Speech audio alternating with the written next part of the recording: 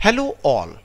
I am Dr. Anand Nayyar, PhD in Computer Science. I welcome you all to my YouTube channel Gyan with Anand Nayyar. Subscribe to my YouTube channel and stay tuned to all the technology videos on Linux administration, open source, Windows administration, embedded systems, Kali Linux, simulations, big data, machine learning, programming, deep learning, IoT, virtualization, unboxings and many more. If you want to know more about my, the details of my video, you can click on the playlist and you can find more details of the videos on which I make on my YouTube channel. If you want to know more about my research, you can go to Google Scholar and you can search my name Dr. Anand Nayyar and you can find all my research papers over here. And similarly, you can even go to researchgate.net and you can find my detailed profile and even my level of research over here and you can find all the coordinates of my current research scenarios on this website and similarly you can even go to google.com and you can search my name as Anand Nayyar and you can find my website and every coordinates of my of my research everything over this search so I request you to subscribe to my YouTube channel and stay tuned. Gyan with Anand Nayyar, your ultimate resource for technology. Thank you. Hello researchers, how are you?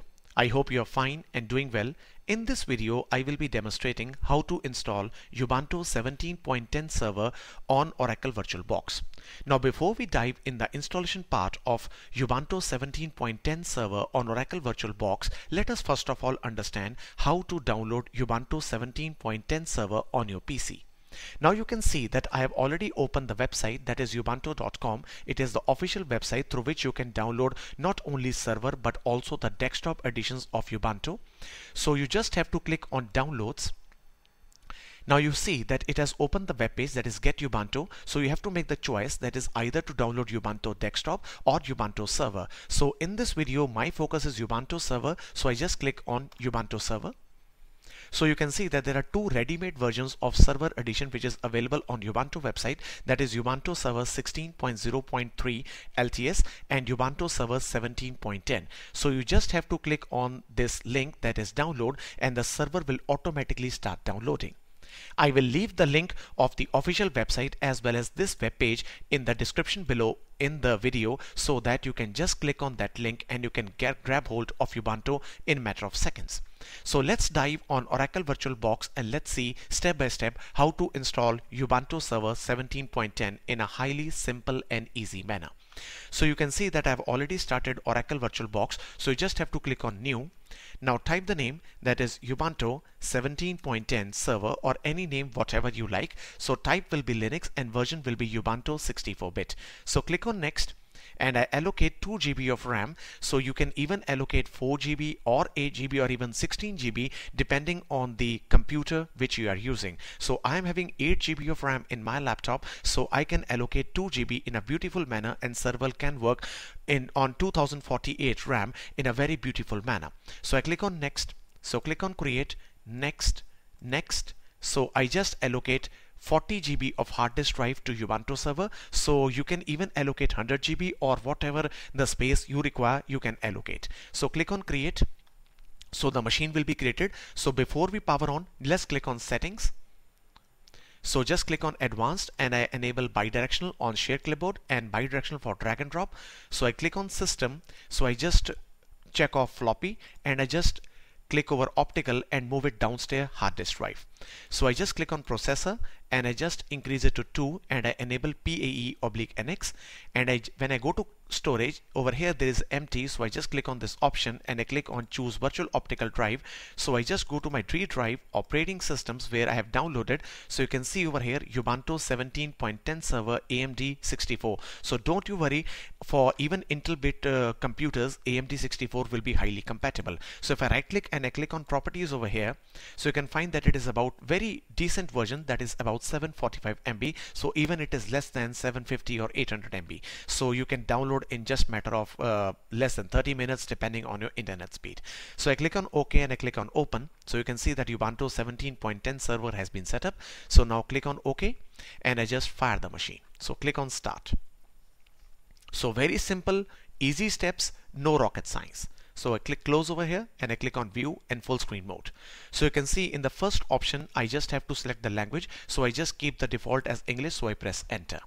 So there is a menu in which there is saying that is install Ubuntu server, install MS region controller, MS rack controller, check disk for defects, test memory, boot from first hard disk drive or rescue a broken system. So as it is the first virtual machine, so we have to install it. So we just take the first option as install Ubuntu server and press enter.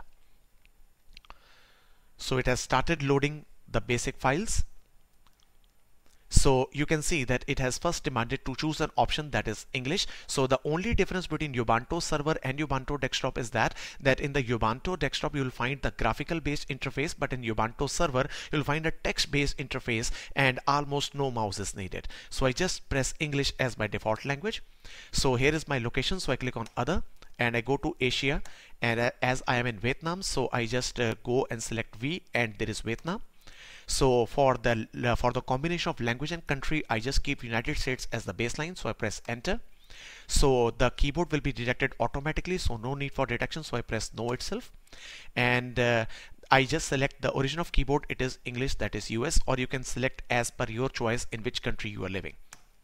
So the keyboard layout will be English US. I just press enter. So it has now detecting the hardware and finding the other CD-ROM drives. So the installation can take place between 8 to 15 to 17 minutes. So it is not a big installation. It will just take less than 20 minutes to get installed. So you can see that it is now loading some additional components which are required for installation.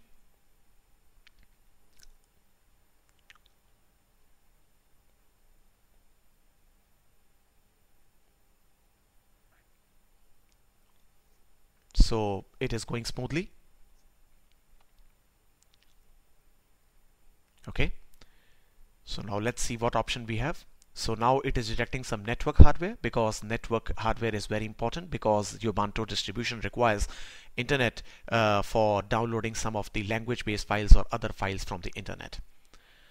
So automatically the virtual machine will be allocating the DHCP address. So the host name will be Ubuntu server 2018 so you can select any other hostname as per your requirement. So I click on continue. So full name of the new user, let me type my name that is Anand Nayyar and username will be Anand and I just type my name as my password. So I use a weak password, it is okay for me. So I just tap it yes. So I don't want to encrypt my home directory. So I press no. So it is getting the time from network time server. I think so nearby area of Vietnam will be selected automatically and grabbed and yes the time zone is correct that is Asia Phnom Penh so press yes so now it is detecting the disk and all other hardware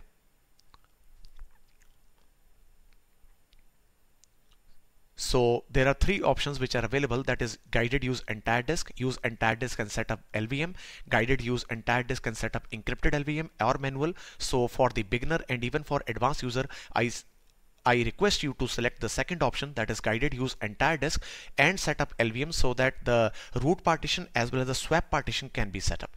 So just press enter. So here is a disk which is being detected. So I just write the changes to the disk and select yes. And yes it is 42.9 it is okay for me. And it is saying write changes to disk so press yes.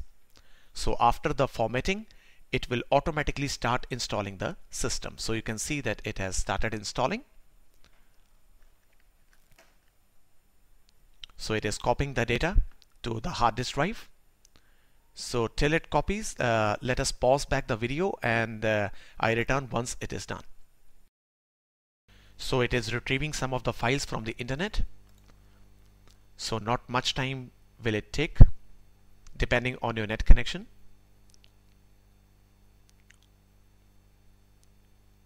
And yes, they have retrieved all the files. So it is running the Debian package.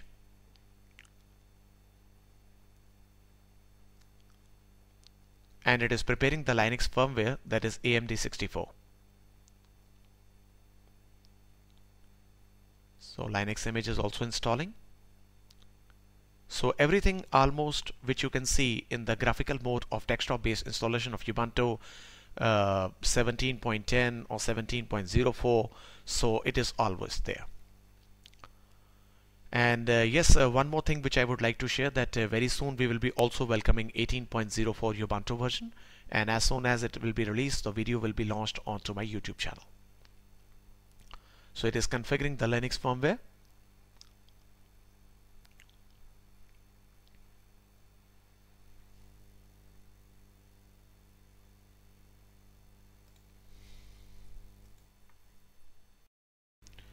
so almost it has done with the basic uh, commands and install LVM2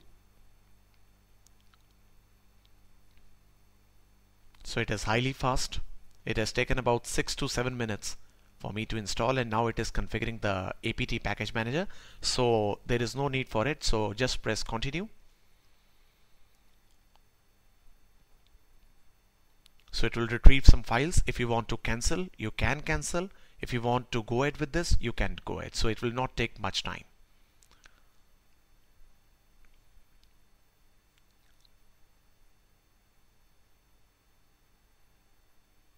So it is highly fast. Now it is installing all the softwares and upgrading all the softwares. So for this it is on you that whatever you want to take the option for configuring tasksel so what I can do I can just install security updates automatically it is uh, by default a very good option so if you want to install any other server like DNS, LAMP server, mail server, Postgre, print server, Samba, Tomcat and OpenSSH you can install. I can just take OpenSSH server as, as a very good server to be installed uh, in addition to my installation. So I just press enter. So it has retrieved almost all the files and very soon we will be welcoming the command based interface because over here we don't have the graphical interface because it's server edition very soon in front of our eyes. So you can say that as compared to other servers like Fedora, CentOS, Red Hat Enterprise Linux, Ubuntu server is highly highly secure and even it is equivalent secure to Fedora and CentOS and even it is more fast and easy to install as compared to other servers.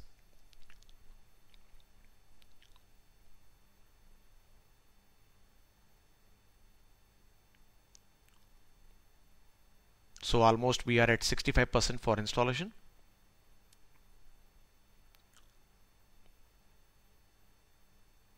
So very soon uh, we can complete it. Let's wait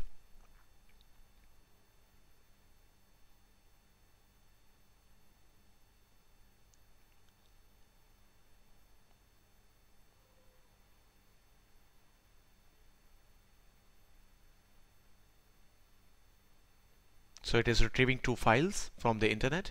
So make it sure whenever you install Ubuntu server, you should have internet connected to your server or any laptop based machine. So it is configuring the language packs which are important.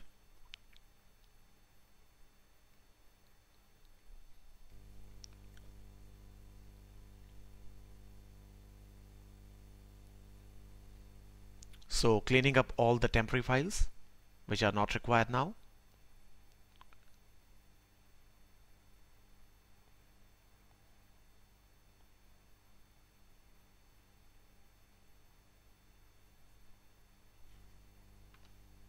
So it is done. And after it is done, we will just reboot the system and we are all set to fire Ubuntu for the first time. So it is installing the grub bootloader not taking much time. So install the grub bootloader to master boot record. We just press yes.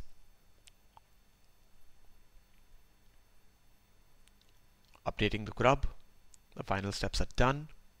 And now you can see that it is finishing the installation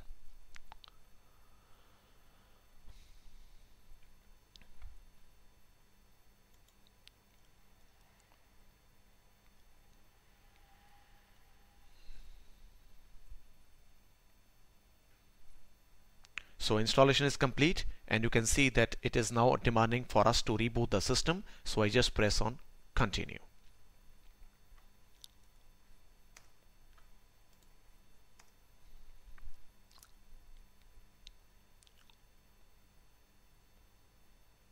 And yes, it is all done. And uh, we are rebooting the machine. So let's go to full mode and we are starting with the first boot.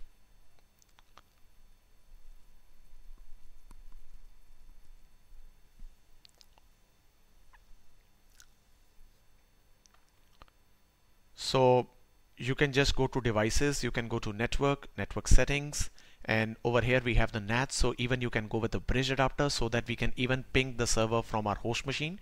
So it is the recommended thing. So otherwise NAT is also good. In both ways you will be connected to your internet. So click on OK so that uh, the IP can be made out. And yes you can see that Ubuntu 17.10 Ubuntu server is there so let's go with the first login with my name and password. So it is done. So let's log in with root. So first of all let us change the password of root with the command that is sudo password. Type the password and now type the password of root and it is updated. So let's clear this and just type the command that is su space minus and type the password and root is logged in so let's uh, first of all uh, check the IP address of this machine that is ifconfig there you can see that it is 192.168.1.10 so let's ping google.com so whether it is pinging or not. So it is pinging. It is doing beautifully. So let's uh, install some uh, lamp server in a just one command that is apt-get install lamp-server shift 6 so it is about a 26.5 MB of the software.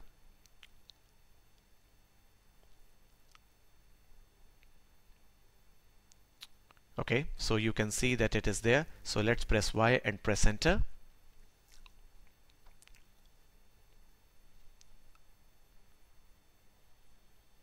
so depending on your net connection speed it will not take much time. So it has taken about 10 seconds to configure. So it is demanding the new password for MySQL user. So let's type the password. You can set it up. And now you can see that it is unpacking and after that it will be setting up. So in my most videos I have told you already that how to install LAMP server. Just a quick demonstration that how you can make uh, your Ubuntu 17.10 as an Apache MySQL and PHP based server so PHP 7.1 is uh, installing. So it is taking all the latest repositories.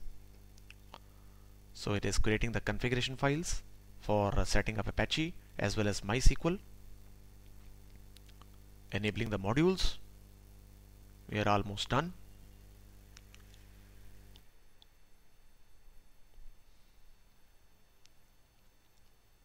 So it is creating the symbolic links processing the triggers okay done. So let's take uh, that is php php hyphen version. So php 7.1 is installed.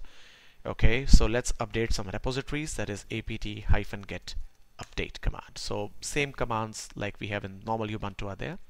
So let's check out that whether we are able to work with the apache or not. So let's go to the uh, web browser of our host machine. So let's type the address that is 192.168.1.10. So you can see that Apache is working. So in this video I have demonstrated how to install Ubuntu 17.10 uh, version of your server edition on Oracle VirtualBox.